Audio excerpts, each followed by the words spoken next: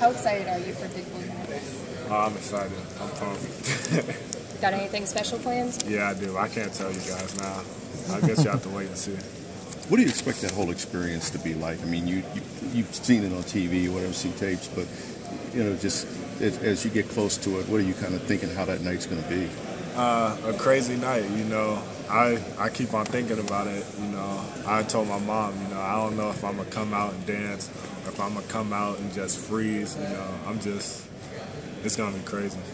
What, what's your description of the process that Cal talks about? I mean, is it is it um, is difficult, or is it just kind of a steady thing where he sees something with you that he he'll just pull you aside, or will point you out and say, "This is what you've got to do."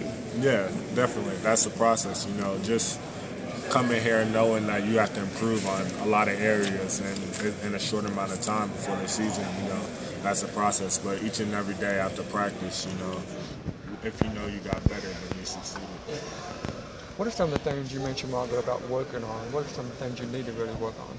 Uh, just keep on uh, running the floor, just probably getting the ball up quicker because you're going against seven footers and a lot of 6'10 guys down there. So just doing that.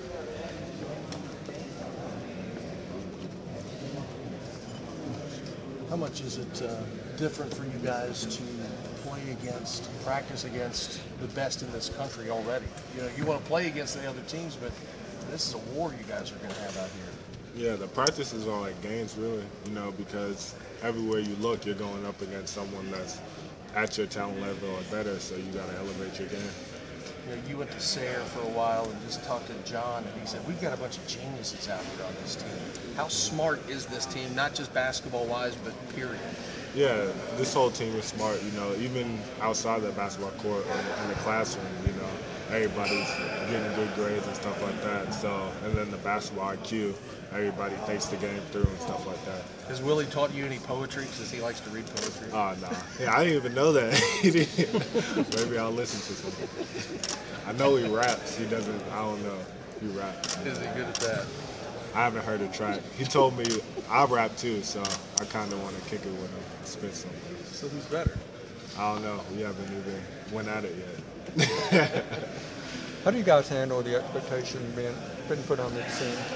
Uh, you know, just in practice, we just always remind each other that we have a lot of things just to go over and get better at. You know, we're not looking at what's in the future. We're looking at now. You know, and that's to get better each and every day at practice. Is the mindset to get better every day? yeah, that's a mindset. If you know that you got better in what you do uh, every day in practice or your improvement, then you know you succeeded for that day. Corey, what's something about Cal that maybe you didn't know before you got here or surprised you once you got here? Uh, probably, you know, he's going to tell you what you need to work on. Well, he told me that while he's recruiting me, but I didn't know it was going to be like full-fledged, you know, just on you all the time. But, you know, that's what I need. And as long as I know that I'm getting better at what he wants me to do, then, you know, Is there one thing that he said over and over already in just the last couple of weeks that's like, yeah, you can tell it's getting ready to come? A certain cliche. Oh, yeah, yeah, yeah. You know, just to keep the ball up whenever and get up, uh, get it to the basket quicker. You know, that's the main thing I need to work on. You know. Has Derek Willis been any surprise since he was kind of not, maybe not hyped as much as some of you guys freshmen? Yeah, you know, he, he's doing really good in practices. You know, he's shooting it well.